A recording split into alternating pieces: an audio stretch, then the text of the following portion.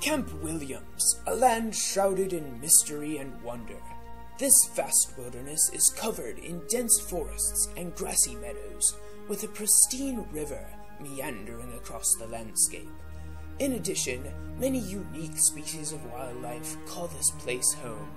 But there is much more to this extraordinary place than meets the eye, and it may not be as safe as it looks. Giant grasshoppers, a terrifying sight to behold. Swarms of these vicious beasts stalk the fields of Camp Williams. Most experts believe that the grasshoppers probably grow this big because of, well, all the grass.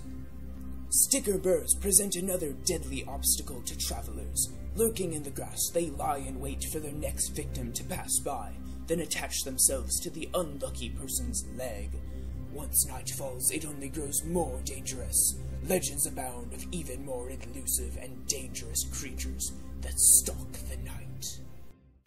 But wait, a small band of explorers known as Outpost 44 has bravely decided to venture into this uncharted wilderness in search of adventure, bringing with them only the absolute essentials, Tony Chachere's and Swiss rolls. They set off on their expedition into Camp Williams.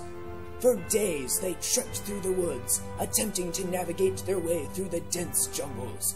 The explorers faced danger at every turn. As true Royal Rangers, they knew they had to be ready, ready for anything. Crossing miles of uncharted territory, the explorers searched for whatever fascinating discoveries this land had to offer. But although they closely examined everything they came across, their efforts proved to be unsuccessful for many weeks. We found no signs of civilization. The only thing we've found is this. Undaunted by the lack of discovery, the explorers continued their adventure through the wilderness. They were Royal Rangers, and they would never give up, no matter what.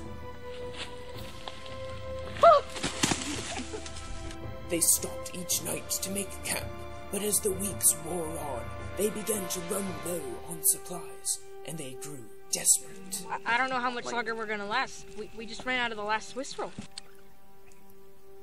Then, one day, as they made their way through the woods, they suddenly came across what they had been searching for all along. They called it Pow Wow.